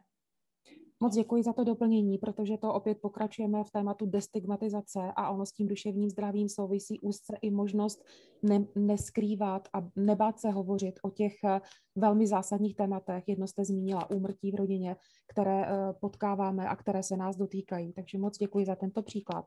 Následuje opět zástupkyně společnosti, která je celorepubliková a jestli někdo v době pandemie COVID-19 opravdu fungoval denodenně i v tom fyzickém kontaktu eh, se zákazníky, tak to byla firma, která teď bude prezentována a poprosím o prezentaci a eh, sdílení zkušeností paní Pavlu Knotkovou, HR expertku z České pošty. Dobré odpoledne, Pavlo. Dobré odpoledne, Jano, dobré odpoledne všem. Eh, já poprosím o natažení prezentace a mezi tím bych vám chtěla říct, že já jsem vám přinesla opravdu takové ty praktické zkušenosti, jak to na poště bylo a takové to zazdílení, co nám fungovalo a co nám fungovalo ve firmě, kterou všichni znáte. Možná nemám prezentaci, možná je tam nějaký problém, ale já budu pokračovat i bez prezentace, protože Českou poštu všichni znáte. Na jedné straně jsou to kamenné pobočky, na druhé straně jsou to takové ty balíky a to všechno, co vám nesmírně v době teď COVID, co vám pomohlo a co jsme doručovali do všech domácností. Slovy čísel Česká pošta z 8 tisíc zaměstnanců, 5 tisíc poboček po celé republice. A na čem my jsme eh, se naučili pracovat, nebo z čeho jsme čerpali, že my už pracujeme s diverzitou už dlouho. Pracujeme na takových projektech, možná je znáte, možná je neznáte, jsou to projekty, které se zabývají zaměstnávání mladých lidí z dětských domovů, z domů na půl cesty. Jsou to projekty, které se zabývají a jsou hodně reálné a prakticky uchopitelné v praxi. Jsou to hm, zaměstnávání odsouzení lidí s trestní minulostí. Jsou to krajané, kteří se vrací zpátky do České republiky. A děkuju. Já poprosím o druhý slide, kde já jsem si připravila právě, jak může vypadat eh, práce a ošetření duševních zdraví ze zaměstnanců, zaměstnanců České pošty a právě jsem to chtěla představit na projektech, o kterých jsem nyní hovořila. A jak nejlépe, abyste to viděli vizuálně. Takže ty projekty o těch dětech, to vidíte, na jedné straně je fotka vedoucí v depu v Horních Počernicích, to je manažerka, která má pod sebou 600 lidí a která se nebojí eh, zaměstnávat děti z domu na půl cesty a umí pracovat s diverzitou. Takže umí pracovat se změnami a umí se pohybovat ve flexibilním prostředí. Dál tam vidíte další fotku, to je zase další pobočka v Praze a je tam mentor člověku, kde spolupracujeme s neziskovou organizací Rytmus a zaměstnáváme lidi s mentálním postižením. Opět je to určitá diverzita pro zaměstnance, aby se naučili pracovat se změnou a aby tam docházelo z řad manažerů k ošetření flexibilního prostředí pro jejich zaměstnance i pro někoho, kdo přišel zvenku a vlastně musí se naučit pracovat ve formě státního podniku a má určitý handicap. No a potom jsem vám tam i připojila další obrázek, který se týká zaměstnávání odsouzených. Opět je to práce s diverzitou a je to zase na konkrétním depu, kde je vizuálně znázorněno, eh, když ten člověk má na sobě ten tresta, odsouzený nebo člověk, který je ve výkonu trestu a dojíždí z věznice pracovat na poštu, tak jak eh, ho i oddělit z bezpečnostních důvodů, aby bylo vidět, že tam je někdo, s kým se musí pracovat za určitých bezpečnostních podmínek, ale jak zároveň mu zachovat důstojnost, lidskost a aby tam měl i možnost eh, i on získat eh, na půdě státního podniku možnost eh, i ošetření jeho mentálního a duševního zdraví, aby se tam cítil jako člověk. Takže těto lidé u nás mají vesty, kde vidíte zaměstnanec, externí, zaměst, externí zaměstnanec, pracovník České pošty. Zároveň, jak pracovat s duševní zdraví zaměstnanců, oni to jsou takový jednoduchý niance, kde vidíte, u těch klecí vidíte mm, pásy, vidíte tam takový proužky modrý. Zase je to taková jistota, bezpečí pro ty, člo, pro ty lidi, kteří pracují v třídírně, eh, vědí, kam se posunout, vědí rychle, jak se posunout. Je to taková ta jistota vytvoření bezpečného prostředí v jejich mozku, aby dokázali reagovat na změny. Takže jedna, jedna příprava pro Českou poštu, aby obstála tady v náročném období COVID, je, že uměla pracovat diverzitou už v minulých letech. Jak uměla pracovat, abych eh, to dokázala úplně přímo, tak já poprosím o další slide. A my jsme pracovali tak, že vždycky, když jsme začali přinášet na poštu něco nového, tak jsme si říkali, my chceme pracovat za málo peněz, ale z hodně muziky. To znamená, že my chceme vědět, eh, co se děje v hlavách našich zaměstnanců, my chceme znát jejich obavy a s těmi obavami chceme pracovat. Takže všechny tyto modely, které jsem vám a ty projekty, které jsem vám představila, ať je to mm, mladí lidé na České poště, ať to jsou krajané, propojujeme světy, ať to jsou projekt externisty internistou, to byl ten projekt zaměstnávání odsouzených, tak všichni, všechny ty projekty měly jednoho společného jmenovatele. Na jedné straně byly jednotné noty, podle kterých eh, se postupovalo napříč celou republikou. Na, na té mapičce jsem vám znázornila, kolik možná to není úplně těch 3800, kolik máme poboček, ale že máme skutečně celoplošné pokrytí. A tam bylo nesmírně důležité, aby eh, jsme měli jednotnou komunikaci při zavádění, zavádění těch změn aby jsme reagovali na to, co se děje v hlavách lidí a aby jsme dokázali ty postupy implementovat v rámci firmy. Takže takové to první doporučení pro nás je v tak velké firmě, my jsme logistická firma, u nás de facto pracují lidé na nižších pozicích. Máme málo mm, zaměstnanců, kteří by pracovali v kanceláři, kteří by mohli pracovat na home officeu, ale jak dokážeme ošetřit duševní zdraví zaměstnanců je, že budeme vědět, co se děje v jejich hlavách, jaké mají obavy a potom s tím pracovat. Když to vezmu konkrétně, tak eh, s externisty internistou, to byl ten poslední projekt, který máme, tak tam bylo o tom, když jsme začali zaměstnávat odsouzené, tak tam byl obrovský strach. Eh, přijdou nám sem trestanci. Oni, co tady s námi budou dělat, když to přeženou, oni nás tady všechny postřílí, znásilní. Teď jsem hodně praktická, protože tyhle obavy tam byly. A tak my jsme museli zjistit nejdřív, čeho se ty lidi bojí a potom s tím pracovat dál v rámci těch not, eh, takových těch eh, chci říct, zavádění takových těch pracovních postupů, které potom se řídily i metodiky. Mladí lidé na půl cesty úplně to samé, krajané úplně to samé. A jak to znamená podívat se lidem do těch hlav, do toho jeho, jejich myšlení, tak poprosím o další slide. Eh, kde jsem to připodobnila, když byste si připravo, představili ledovec. Úplně na začátku toho ledovce, to, co je vidět nad eh, tou hladinou, tak tam jsou vidět ty výsledky. Tam jsou vidět to, že Česká pošta v období COVID doručovala, že jste ve svých schránkách měli dopisy, že jsme doručovali balíky, že jsme fungovali. Ale co zatím stálo? Zatím stálo to, že úplně dole pod tou hladinou jsme museli zjistit, tam je ta eh, každá hlava toho jednotlivého zaměstnance, že jsme museli zjistit, tam odehrává, aby jsme to dokázali ošetřit. Takže my jsme věděli, že úplně na začátku vedoucí měli obrovské strachy, úplně v té první vlně. Můžu já si dovolit změřit teplotu, Eh, zaměstnanci. Můžu vůbec eh, počítat s tím, když jsem hovořila na začátku, že ta manažerka toho DEPA má pod sebou 600 lidí, 600 lidí, kteří, kteří řídí balíky, co když se stane, že to depo celé zavře, co když se stane, že mi tady všichni onemocní. Takže tohle bylo úplně na začátku sbírat ty konkrétní obavy a ty věci, co je trápí, aby se to mohl dát určitý řád a aby se tomu mohli dát takové ty noty, jak říkám.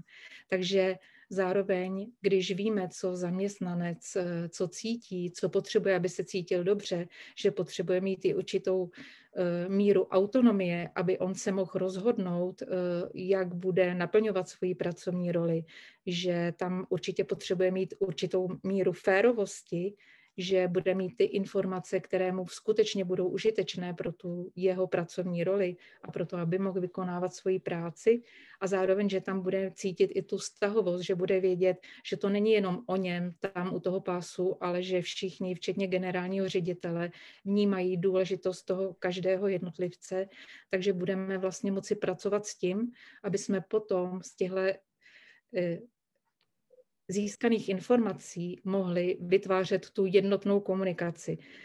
Já to velice ráda nazývám jednotnou komunikací. Ono na zatím, zatím nejsou e-maily nebo cokoliv byste si představovali, nebo jenom ty procesy, ale jednotná komunikace je skutečně to konkrétní přenesení na toho člověka, aby on mohl potom mít ten velký pocit jistoty, že může svoji práci vykonávat v pořádku. Když bych to vzala na situaci COVID, tak to bylo, zjišťovala jsem si tady před tím naším meetingem, jak to měli náboráři, co jim vyhovovalo a co se jim osvědčilo náborářům České pošty. těm takovým těm lidem, kteří museli zajišťovat nábor lidí no, a zajistit dostatek pracovníků, aby zase byli v těch lokalitách pro tu manažerku, abych jich tam měla těch 600 lidí na těch pracovištích, tak tam bylo právě to, že byly to ženy a ženy oceňovaly, že mohly si home office řídit sami, takže eh, měli k dispozici kanceláře nebo místnosti, kde mohli v určitý den v týdnu v rámci izolace pracovat i v kanceláři, ale zároveň si mohli zvolit, kdy budou doma. Eh, zároveň eh, si mohli i načasovat, jak budou pracovat, takže tam došlo i k tomu, že dokázali si ošetřit, kdy bude manžel pracovat na počítači doma, tady jak bylo zmíněno, kdy budou moci pracovat oni. Eh, zároveň věděli, jak mohou děti dávat do školek a byly tam takové ty všechny ty informace, které se pozbíraly a v rámci krizového štábu, protože Česká pošta měla vytvořený krizový štáb, tak se přenášely na ty jednotlivé pracovníky. Takže pocit jistoty dával opět konkrétní přenos informací užitečný pro toho daného pracovníka. A tak postupně, jak se to řídilo ze zhora, tak tam docházelo k určitému takovému té selekci, aby tam nebyla přemíra informací, ale byla tam skutečná ta míra informací, kolik každý člověk potřebuje. Zároveň jsme pracovali eh, s kouči, koučové eh, opět byly k dispozici. Když byste se podívali zpátky na tu celou mapku České republiky, tak byly k dispozici eh, všem důležitým manažerům. Když říkám důležitým, tak to byli ti, kteří na starosti infrastrukturu, měli na starosti DEPA, měli na starosti, byli to vedoucí týmu a měli na starosti ty doručovatele a ty třídiče těch balíků, když bych to takhle zjednodušeně připodobnila. Takže tam bylo péče, byl tam kouč a byl tam ten parťák, ten člověk, ze kterým můžou zazdílet. No a potom už tam byly ty výsledky, které vy jste viděli a Česká pošta obstála. Moc, moc děkuji za to, za to sdílení, za, za ten příklad, protože přesně je to zase firma s celorepublikovou působností a firma, která, nebo jedna z těch profesí, která opravdu byla v době covidu v té, v té první linii. Já se tu, pro tuto chvilku, Pavlo, moc omlouvám a předám slovo, protože mám echo, že následující hostka s námi opravdu může být jenom do 16 hodin a je to opět firma s celorepublikovou působností a firma, která podobně jako Česká pošta, tak má aktivity opravdu napříč zaměstnává mnoho žen. Takže ráda bych tímto, a nebudu to prodlužovat, dala slovo Daně Fajmonové, HR ředitelce společnosti Raiffeisen Bank. Děkujem za slovo. Eh, prajem vám eh, dobré odpoludně. Moje jméno je Dana Fajmonová a v Raiffeisen banke pracujem jako personálna riaditeľka. Já teda, protože máme malinko času, tak na úvod stručně představím Raiffeisen banku, jak my to máme z hlediska právě zaměstnanců. V Čechách Raifka zamestnává přibližně 3000 lidí. Eh, pričom eh, tam máme eh, vlastně zastupení genderu v míře, že máme 50% zamestnankyň a 45% zaměstnanců jsou u nás muži. Asi 1700 zaměstnanců zaměstnáváme s tím, že pracují v kanceláriách, 1300 zaměstnanců nám pracuje na pobočkách alebo klientských městech. A uh, já vlastně uh, i z hlediska pestrosti těch tém, které dneska uh, pokrýváme, tak jsem si vravela, že s vámi možno vyzdielam právě jako kontext alebo aspekty práce, které se týkají dopadu covidu a toho, že dlhodobo máme teda velkou část zaměstnanců, kteří pracují na home office. A potvrdzujem vlastně ty informace, které tu dneska zazněly, že eh, eh, na základě toho, že kontinuálně mapujeme u našich zaměstnanců ich spokojnost, pýtame se na konkrétne oblasti, včetně toho, jakým způsobem se jim pracuje na home office, eh, jak jsou spokojní s přísunom informací, jak to vnímají i z hlediska právě udržatelnosti, míry záťaže, stresu a právě work-life balance. A potvrdzujem, že za posledné měsíce dostáváme od nich zpětnou vazbu, eh, že ten work-life balance ehm, a spokojnost s ním se zhoršuje. A vlastně uh, toto téma momentálně um, jako velmi aktivně řešíme. Je to uh, samozřejmě tak, že už před rokom uh, jsme začali oslovovat, jakým způsobem si udržovat work-life balance, jak fungovat právě v módě, kdy ty hranice mezi soukromým a prácou jsou um, poměrně dost jako stěrané. A intenzívne do toho banka kontinuálne investuje vo forme vzdelávania.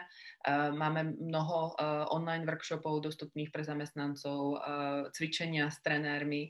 Zároveň rozvíjame a vlastne ponúkli sme našim manažerom mnoho manažerských kurzov, ktoré, v ktorých ich rozvíjame a učíme ich, akým spôsobom podporovať tým i na diálku, akým spôsobom si v týme nastaviť pravidlá, ktoré umožnia tomu týmu dobre fungovať, napríklad i z pohľadu času, kedy sa kontaktovať, kedy sa nekontaktovať, kedy treba obmedziť mieru, mieru meetingov a callov. A vlastne navezujem i na to téma na právo odpojiť sa, pretože počúvame vlastne stále častejšie záujem našich ľudí vlastne nějakým způsobem to uchopiť a, a vytvoriť im jako priestor, a, aby skutočne túto možnosť mali, pretože vnímajú, že dlhodobo je to skutočne v tejto miere, fakt je to aktuálne zažívame, tak to není udržateľné. A vlastne ne, ne, v tejto chvíli vám vlastne neviem povedať na to nejaký recept, akurát s vami môžem zdieľať, akými intervenciami sa momentálne zaoberáme a o akých interne diskutujeme, a to je práve o tom uh, v organizácii doporučiť, uh, aby sa meetingy a koly realizovali skutočne iba medzi napríklad uh, hodinami v čase pol deviata ráno a piata odpoludňa, aby sa treba pred 8 ráno a 18 večer, čo je pomerne veľkorysý limit. Napriek tomu asi máte tiež zážitok, že momentálne i tento limit jako není vôbec jasný ohľadne toho, že si ľudia píšu SMS-ky, píšu si treba cez MS Teams Eh, kontaktujú sa a ono to prostě, to, to duševno narušuje. Eh, takže doporučí vlastně tento komunikační limit.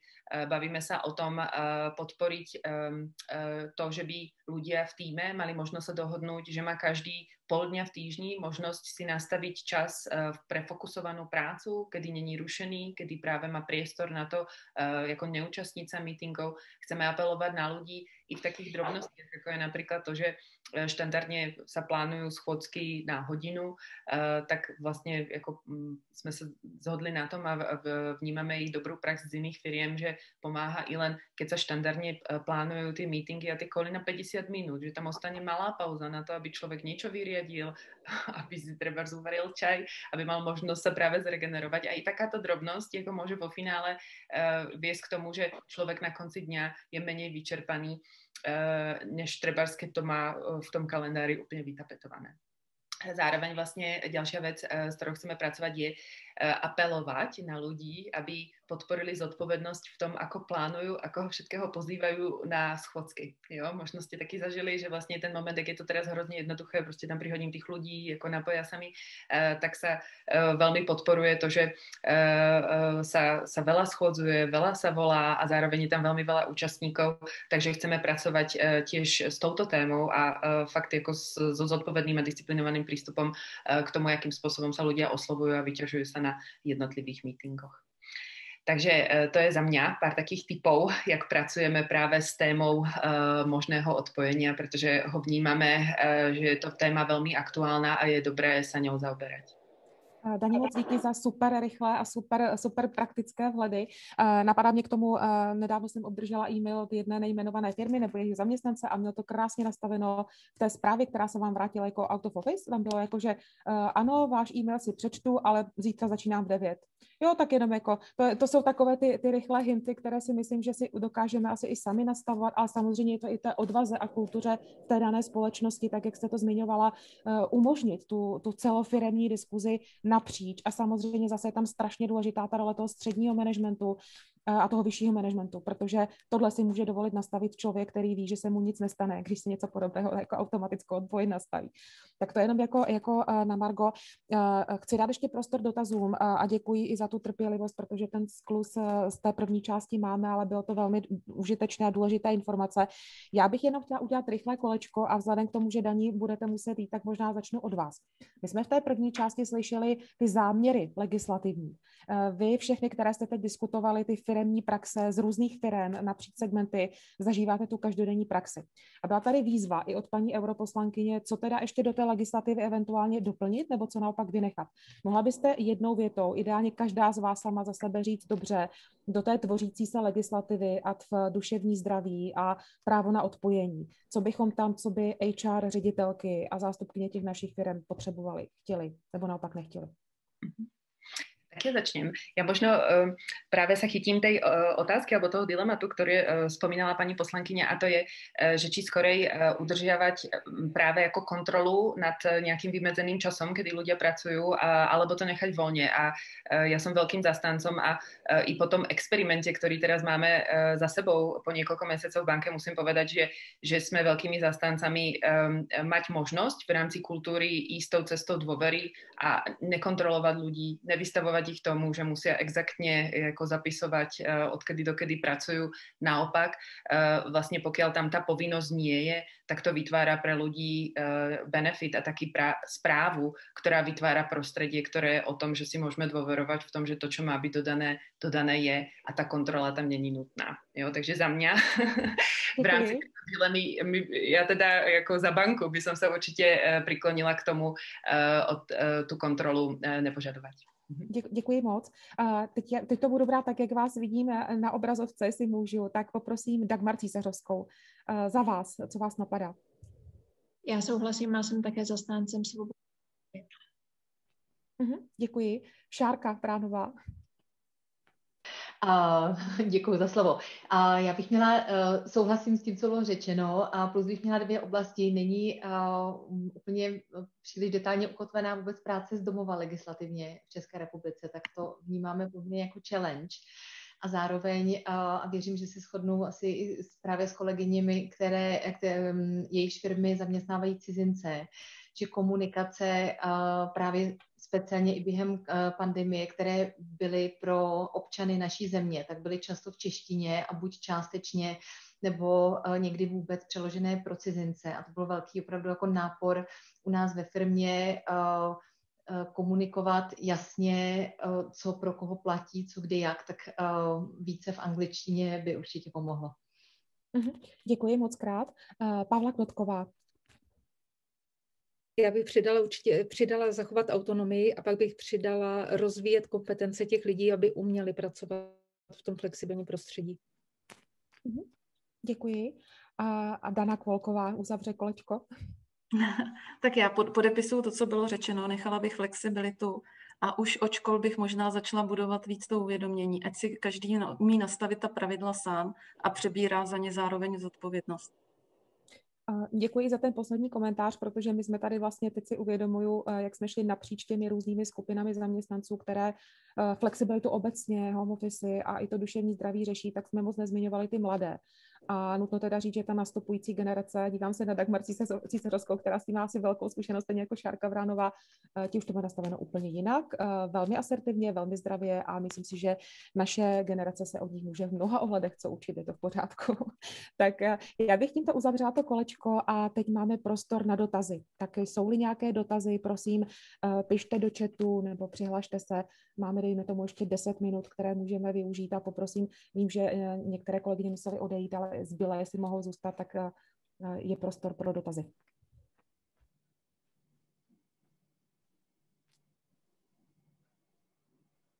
Prosíme ideálně do chatu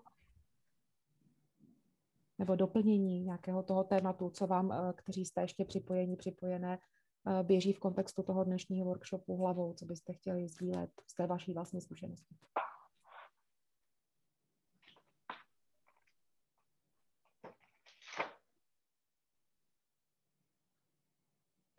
Pokud není eh, žádný dotaz, tak já bych naopak podpořila firmy nebo kohokoliv, že si myslím právě, že um, investice do lidí a do jejich pohody, aby se cítili dobře ve firmách a speciálně jsme se bavili hodně dneska o duševním zdraví. A toho tématu se nebát a jít do toho. Samozřejmě eh, ve firmě eh, je zásadní, aby a pracovali v symbioze opravdu v celé eh, hierarchii, aby měli velké, velkou podporu vedení, ale nebát se toho tím, že to je takové téma, o kterého, kolem kterého často se chodí v takovém horkém kruhu. Nebojte se a začněte. Já moc děkuji, děkuji Šárko za, za, za ten závěr.